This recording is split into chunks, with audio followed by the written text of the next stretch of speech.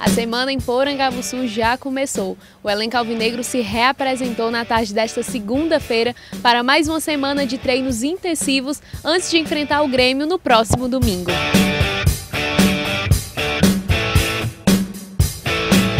Semana será composta por cinco dias de treinos em solo cearense, já contando com o desta segunda-feira. Amanhã não tem para feriado. A equipe alvinegra treina normalmente no CT de Porangabuçu, focando sempre no confronto do próximo final de semana.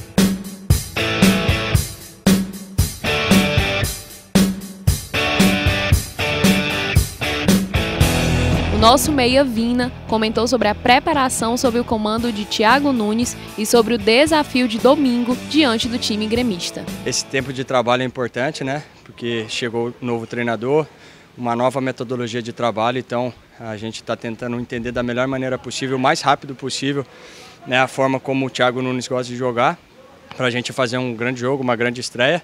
Né, e o adversário, por mais que esteja é, passando por um momento de dificuldade, a gente sabe que é uma grande equipe, né, então a gente vai se preparar ao máximo para chegar lá e fazer um grande jogo e, se Deus quiser, trazer os três pontos para a capital do Ceará.